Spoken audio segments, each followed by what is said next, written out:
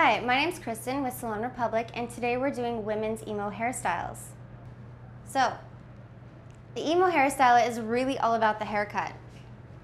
Lots of volume and height on the top, and long straight layers underneath. Okay, so we're gonna start out by teasing and making it very, very full on top and very piecey.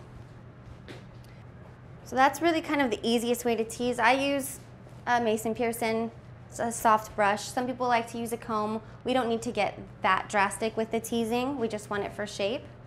What we want to do is we want to create roundness and fullness through the top and something tighter and more streamlined through the lengths.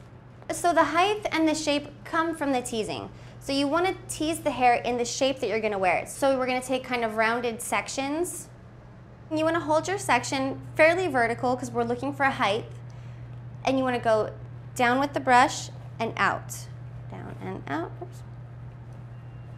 Down and out, down and out. And this gives us a very kind of soft feel. And you see we can automatically build width there. So now that we've got kind of our height and our roundness, we're gonna start to work on our front shape. The emo, the emo girls, they always have that kind of really deep side part over one eye and also with the teasing, you want to make sure that it's still fairly smooth. Like you don't want to see a lot of teasing underneath. In the front, there are several things we can do. You can, a lot of the girls like to pin the hair. Another way to get it to stay is to just tease it slightly into place.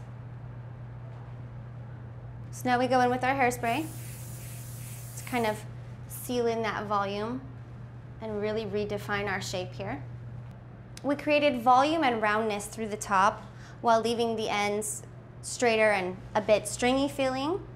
We also created a very deep side part held over to the side either by a pin or by slightly teasing and spraying. And that is how we did our hairstyle.